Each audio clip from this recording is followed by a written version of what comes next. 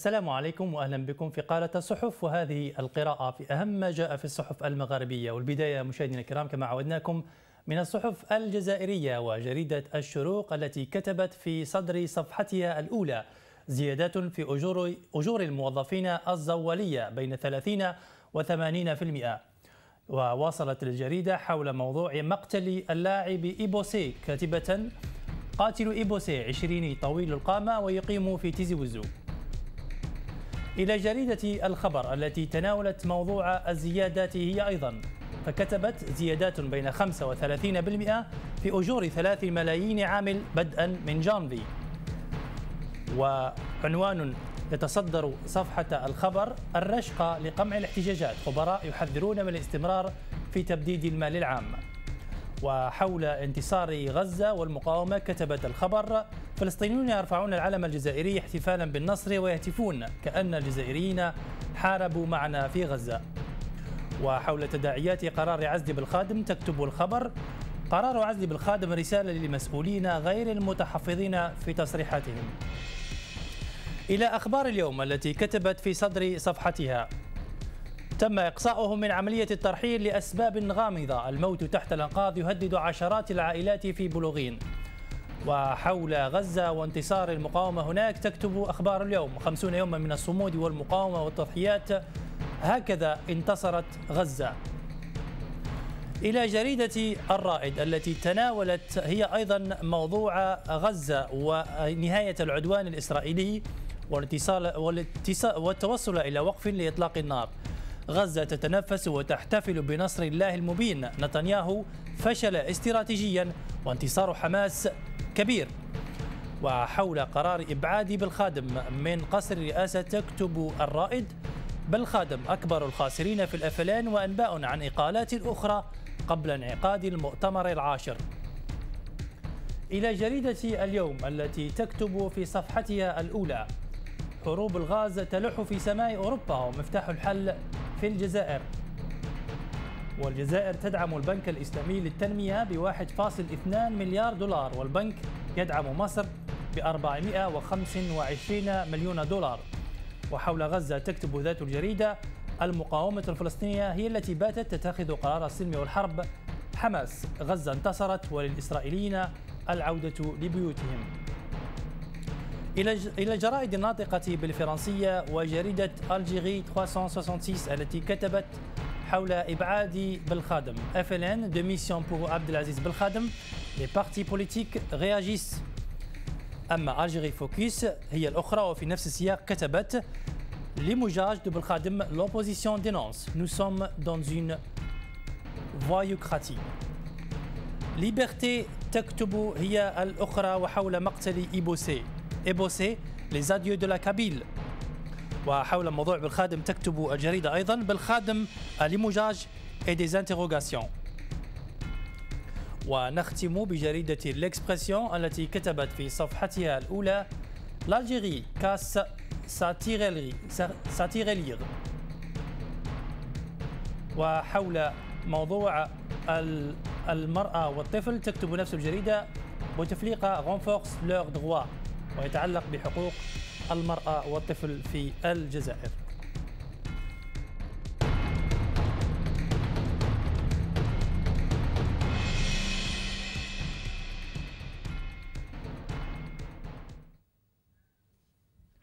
ولمناقشة هذه العناوين مشاهدينا الكرام ينضم إلي في الاستوديو الأستاذ والإعلامي الزميل طيب الغيلوفي. أهلا ومرحبا بك أستاذ طيب. بداية لاحظنا يعني آه، آه، موضوع انتصار غزة والمقاومة يتصدر تقريبا صفحات كل الجرائد الجزائرية على سبيل المثال. أخبار اليوم كتبت هكذا انتصرت غزة وكذلك الرائد كتبت غزة تتنفس وتحتفل بنصر الله المبين. قراءتك للاتصال لوقف التوصل لوقف إطلاق النار وما وصف بانتصار المقاومة.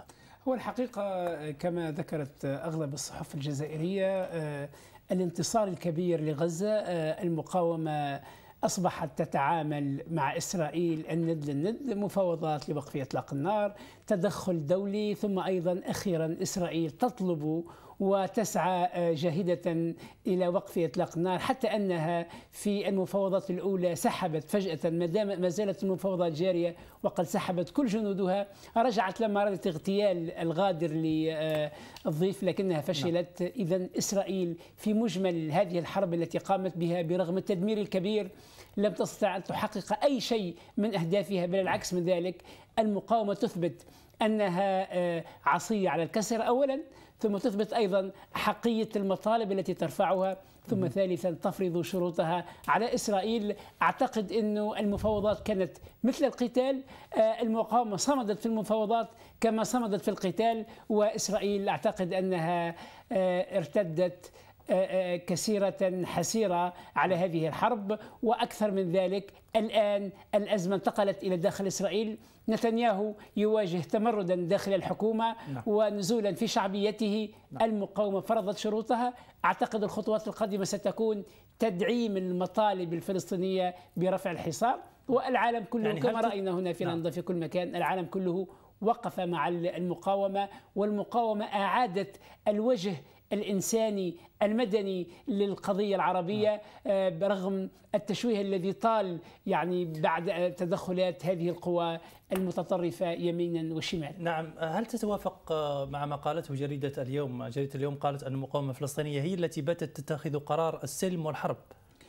هو الحقيقة الذي بدأ الحرب ليست المقاومة. بالتأكيد الذي نعم. بدأ الحرب هي العدوان هي, هي إسرائيل. نعم. المقاومة أصبحت إن صح التعبير آه لم تعد ذلك الطرف الذي يطلق بعض الصواريخ أو الذي يحاول أن يقوم برد الفعل على العدوان. المقاومة أصبحت رقما صعبا. لا هي بدأت العدوان ولكنها أيضا قادرة أن تكبل العدو وتجعل العدو يفكر ألف مرة. قبل أن يرسل طائراته أو صواريخه. هذا الدليل أن المقاومة الآن آه، كثير من الصحف الجزائرية ذكرت أنه هذا الانتصار سيغير من المعادلات في المنطقة. هذا الانتصار أيضا حتى يغير من معدلات الصراع. كان سابقا حماس متهمة أنها تخرق الأسلوب المفاوضات. حماس يقولون أنها محاولات يائسة من أجل الحديث عن المقاومة ولكن أثبتت أن خيار المقاومة ما زال عنده مصداقية في الشارع الفلسطيني وما زال قادر على إنجاز المطالب والحقوق. آه، وأثبتت أيضا السلطة الفلسطينية في المقابل نعم. أن طريق المفاوضات طويل ولكنه لا يأتي بشيء. نعم بالحديث عن التفاف الفلسطينيين حول المقاومة أستاذ طيب ذكرت بعض وسائل الإعلام أنه أو عن نقلا عن تصريحات بعض الكوادر في حركة حماس عن أنه هذا النصر الذي وصفوه بالنصر آه، أذل كل من حاول كسر شوكة آه، الإسلام السياسي بين قوسين المتمثل في آه، حركة حماس وكذلك أذل وسائل الإعلام التي كانت تحاول أن تشوه صورة حماس في أعين الفلسطينيين وهنا ربما رسالة إلى الإعلام المصري أليس كذلك؟ هو الحقيقة طبعا أنت تعرف التحالف الدولي ضد المقاومة ليس مجرد يعني إسرائيل قالت من اليوم الأول نعم. قالت أدخل هذه الحرب بتحالف عربي وقالت نتنياهو قال في خطابه وفي ندوته الصحفية أن الدول العربية ضد حماس نعم. قالها صراحة نعم. وهو في هذا الأمر صدق وهو كذوب كما يقال لسبب بسيط أنه الدول العربية أغلبها المملكة العربية السعودية ربما بعض دول الخليج مصر آه، كثير من الدول في سوريا في العراق هذه الدول لا ترتاح لحماس لا ترتاح للمقاومة وكانت كلها أكاد أن أقول كلها كانت تريد لحماس أن تنهزم في هذه المعركة نعم. هذا لماذا؟ هذا لماذا حماس طعم هذه المرة في الصمود والانتصار مختلف عما سبقه لسبب بسيط أنه ثم تقريبا ليس فقط خذلان ولكن تعاون مع العدو في هذه الحرب وهذا الذي جرى في غزة أنه كبت الهجوم الإسرائيلي من جهة وأذل الذين وقفوا معه من العرب من جهة ثانية وهذا الدليل أنه الآن ورقة المقاومة أصبحت تقريبا هي الورقة الرابحة حتى الدول القليلة مثل قطر ربما ومثل آه، آه، تركيا نعم. اللذان وقفا مع المقاومة آه، ميزانهم ربما في الساحة ثقل أكثر بعد الصمود الأسطوري لسكان غزة ولمقاومتها نعم بالحديث عن قطر بالتحديد أستاذ طيب بينما كان الفلسطينيون يحتفلون بهذا النصر يعني آه، لم ينعكس هذا النصر يبدو على ما يبدو على القيادة الفلسطينية خاصة بعد التصريحات التي وردت في الجرائد عن أنه آه، محمود عباس وصف المفاوضات التي تمت في القاهرة بأنها كانت جدية ولكن في نفس الوقت كانت وقحة. كان هذا التعبير الذي وصفه آه، أتى به محمد عباس في وصفه لهذه المفاوضات. وكذلك كانت هناك أنباء عن انه عزام الأحمد أراد أيضا أن يضرب أبو مرزوق في في مفاوضات مصر. يعني ألا يعكس ذلك حدة الانقسام في يعني آه، بين لنقل انه لا ليست هناك وحدة آه، فلسطينية يعني على الأرض مجسدة هو هو حقيقة. هو هو الحقيقة هشام هذه المعركة الحاصلة الآن في في في داخل ما بين الفلسطينيين وما نعم. بين إسرائيل ثم طبعا معركة أخرى. بين خيارين وأنا نقول معركة الشعب الفلسطيني في داخله لا نقول معركة في الساحة الفلسطينية بين خيارين. نعم. هذه المعركة ليست جديدة تقريبا منذ اتفاق أوسلو. نعم. هي معركة أنه الاعتماد أساسا على خيار التفاوض. صائب علاقات كبير المفاوضين كتب كتابا كتب كتابا معبرا قال كتب عنوانه عنون كتابه الحياة مفاوضات. هذه هي هذا ملخص الحياة ليس فقط العمل المقاوم الفلسطيني الحياة كلها مفاوضات. وثم الخيار الثاني وهو خيار المقاومة في غزة وكانت أيضا حتى في الضفة الغربية في أيام الانتفاضة إذا الخيارين أصبحا يتنافسان ويتخاصمان في الساحة الفلسطينية نعم. يجب أن لا ننسى أنه أول الحرب أول العدوان عباس لما التقى بالقيادة قيادة المقاومة قال لهم كلاما نشرته كل الصحف تقريبا حتى الجزائرية نعم. نشرته. قال لهم لسنا قادرين على إسرائيل وعلى أمريكا نحن لسنا قادرين. ما معنى هذا الكلام؟ هذا منذ اليوم الأول. نعم. قال لهم أنتم برسم التصفية ونحن لسنا قادرين والأفضل لكم ما معناه الأفضل لكم أن تستسلموا؟ ولكن المقاومة آمنت بقدراتها. نعم. والمقاومة أيضا مؤمنة بشيء ثاني أن التفاوض لا يوصل إلى شيء. أنت تعرف الآن الضفة الغربية بعد تقريبا 25 آه، سنة على اتفاق أوسلو كان وضعها قبل الاتفاق أفضل مما هي الآن. آه، الاستيطان يعني هل أفهم من كلامك أستاذ طيب أنه آه، الوحدة الفلسطينية صارت الآن ضربا من الخيال؟ لا لا الوحدة قائمة لا الوحدة قائمة. القضية نعم. هي أين يتقدم خيار التفاوض وأين يتراجع وأين يتقدم خيار المقاومة وأين يتراجع. في هذه المرحلة خيار المقاومة خيار المقاومة تقدم. أكبر دليل عزام الأحمد هذا جزء من السلطة الفلسطينية. هذا قيادي فتحاوي القيادة الفتحوية وقيادة السلطة كانت تقول لا أمل وهذا اللي تفعله صواريخ آه، القسام هذا لعب وليس له نعم. أي فائدة أصبحت في آخرها بعد هذا الصمود للمقاومة أصبحت الوف أصبح الوفد الفلسطيني يأخذ آه، تعليماته يقول من من محمود عباس ورئيسه عزام الأحمد وهم هؤلاء الذين كانوا بالأمس القريب يدافعون عن التفاوض نعم. ويسيرون فيه ويسكتون عن البناء المستوطنات وينسقون أمنيا مع الاحتلال فجأة فجأة بصمود المقاومة جاءوا إلى القاهرة يتحدثون عن الصمود نعم. ويتحدثون عن تحقيق مطالب المقاومة وأن الشعب الفلسطيني واحد هذا دليل في هذه المرحلة المقاومة تقدمت وخيار التفاوض تراجع يبدو أن عباس الآن بعد أن هدأت هدأ القتال سيعود إلى سالف عهده إلى إدمانه القديم أنه ليس أمامنا غير التفاوض والتنسيق الأمني يتواصل وأنه حماس يجب عليها أن تقبل وأكبر دليل على الذي أقوله أنه السلطة الفلسطينية الآن ذكرت اليوم نعم. بعض الصحافة لا أراه موجودا في الصحافة الجزائرية بعض الصحافة العالمية قالت أنه عباس ألغى آه، بعد إحدى الضغوط الغربية بالتوقيع على اتفاقية روما اتفاقية روما نعم. والذي بموجبه يقع نقل ملف الاعتياد الإسرائيلي للمحكمة الدولية, الدولية. نعم. عباس يتراجع تراجع بعد أن هدأت آه، ساحات القتال في غزة. هذا دليل أن خيار المقاومة يراوح تقدما وانحسارا وخيار وخيار التفاوض أيضا. إذا المقاومة ثبتت وصمدت وشبكت مع العدو آه، يرجع إلى الخلف. إذا المقاومة أجرت هدنة يحاول أن يبرز ويثير كثيرا هذا من الغبار نعم والكذب. هذا تراجع أستاذ طيب. ألا يخدم المقاومة الفلسطينية أيضا؟ يعني هو هو اشترط على المقاومة الفلسطينية أن توقع وثيقة لكي لكي يوقع هو الآخر على آه، اتفاقية روما ويلجأ إلى المحكمة الجنائية الدولية فإذا لجأ إلى المحكمة الجنائية الدولية ستحاكم أيضا إسرائيل ربما تحاكم أيضا المقاومة الفلسطينية ارتكابها جرائم في حق المدنيين الإسرائيليين أليس كذلك؟ لم ترتكب. أين ارتكبت نعم هي إسرائيل ستقول أن حماس قصفت قصفت المدن المحتلة وأوقعت إصابات. يمكن إسرائيل أن تقدم ملف كذلك. وبذلك تستهدف المقاومة الفلسطينية أيضا في المحاكم. أولا أولا آه، المقاومة الفلسطينية آه، كانت آه، تحارب أكثر صواريخها كانت موجهة إلى المواقع العسكرية نعم. وهاجم قواتها هجمت المو... القواعد العسكرية في عسقلان وفي غيرها من المدن نعم. أو قالت أنها ستوجه صواريخها إلى المطار آه، إسرائيل هذا أولا ثم ثانيا حتى لا يجب أن تقارن نعم. بين الأدوات مقارنة بما تملكه إسرائيل ادوات بدائية نعم. وصواريخ آه، أغلبها يعني اثارت الرعب أكثر مما اثارت القتل. وثانيا إنه إسرائيل الآن متورطة في ارتكاب مجازر حقيقية.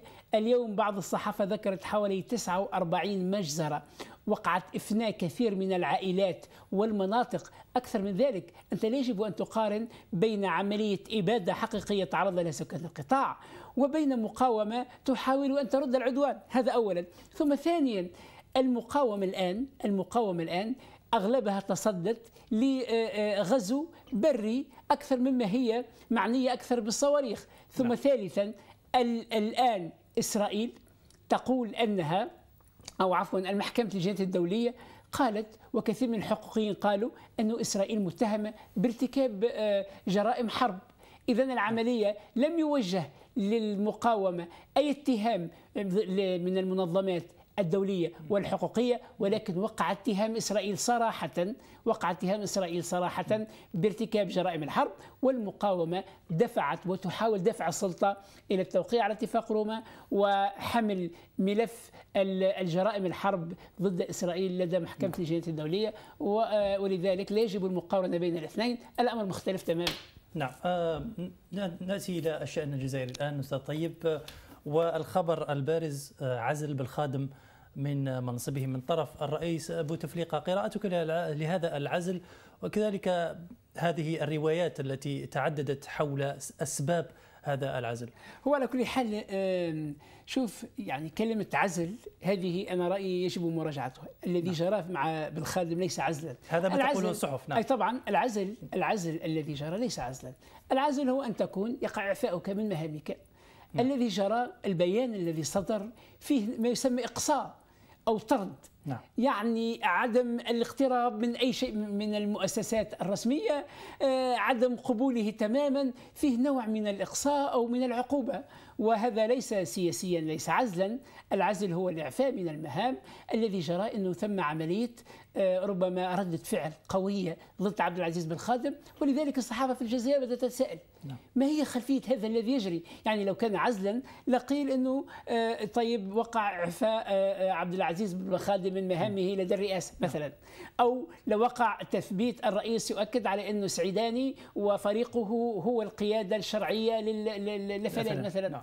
الذي جرى طرد هذا الرجل يعني إقصائه من كل تقريبا المهام عدم حتى قبوله وحضوره لكل هذه المؤسسات والذهاب إليها فيه نوع من العقوبة طيب السؤال الآن ما هذا سبب هذه العقوبة على نعم. كل حال التفسيرات كما قرأت في الصحافة نعم. اختلفت نعم.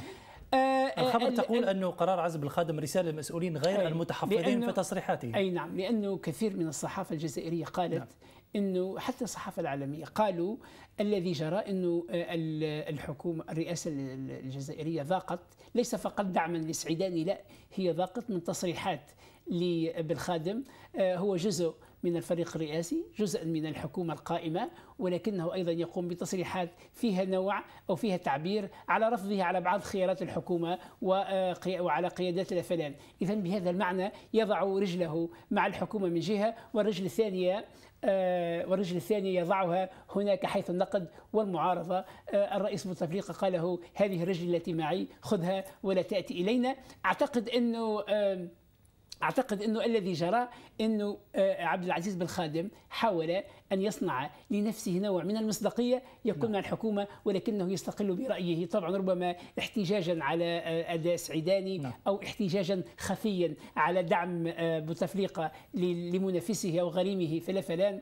الذي جرى إنه يبدو ذاق ضاق بوتفليقة وفريقه ضاقوا صدرا بعبد العزيز بن خادم وأطردوه شر طردة نعم. وهو على كل حال في جميع الحالات نعم. في جميع الحالات اللهم لا شماتة ولكن في جميع الحالات الآن ربما بالخادم يفهم أنه كل الخدمات وكل الذي فعله من أجل آه، الرئيس بوتفليقة ومن أجل البقاء ضمن دائرة الحكم فشلت أفشلوه أولا بطرده من قيادة الفلان وهم الآن يطردوه تماما نعم. و... المعارضة كان لها تبرر آخر على لسان بوجمعة غشير قالت أن بوتفليقة يرتب لرئاسيات 2019 ماذا يعني ذلك؟ هذا هذه إحدى التفسيرات حتى يكون يعني نعم. نفهم التفسيرات كثيرة منها هذه التصريحات ومحاولة الظهور بمظهر الاستقلاليه نعم. هذه لم ترضيهم بعض التفسيرات الأخرى قالوا التقى بوفد من حماس هذه نعم. إحدى التفسيرات الأخرى نعم.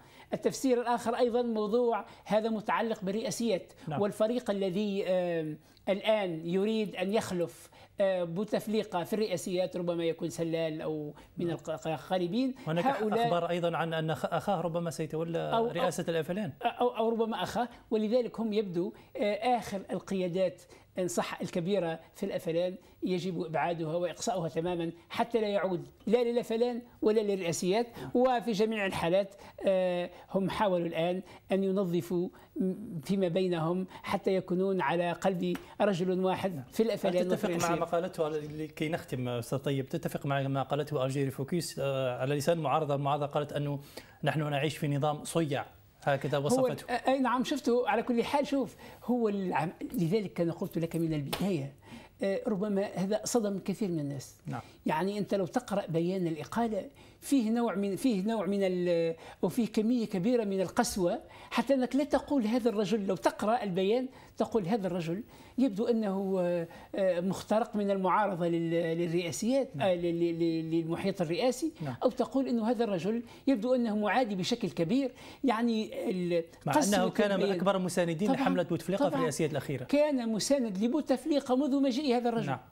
كان مساند له وكان من رجاله نعم. يعني حتى بمعنى آه، الماء والملح كما يقال نعم. كان المفروض يقع إقصاء إبعاده بنوع من الاحترام أو من الاعتراف بالجميل أو نعم. الاعتراف بالخدمات كل هذا لم يأتي فجأة مثل تعرف أنت شكل لذلك قالوا من من الصيع نوع من العصابات إذا يوم لا تختلف مع رئيس العصابة عندما تختلف معه لا رحمة أنت أصبحت من الجهة المعادية ولست معنا بمعنى لست تشارك معنا مشاركة كاملة وتسكت سكوتا كاملا نعم. فلذلك يقع اقصاؤه وطرده بطريقة يبدو أن الرئاسة الجزائريه نعم. ليس في الامر ليس في الأمر سياسة نعم. ولا اعتراف بالجميل ولا حتى تقدير الخدمات ولا حتى آه، محاولة للم صفوف كل فرقاء آه، المحيطين بالرئيس بوتفليقة ويبدو أن الرئاسة أيضا صارت تسير بمنطقة الغاب. أشكرك جزيل الشكر أستاذ طيب الغيلوفي على هذه الإيضاحات وعلى هذه الإضاءة في هذه العناوين. ننتقل الآن مشاهدينا الكرام إلى أهم ما جاءت به الصحف التونسية وهذه القراءة لزميلي غفران الحسيني. تفضل غفران.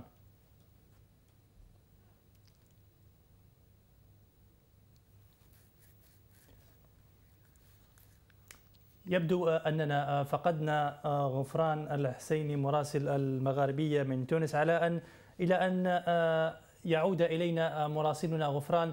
نتابع هذه المختارات من الكاريكاتير ثم نعود.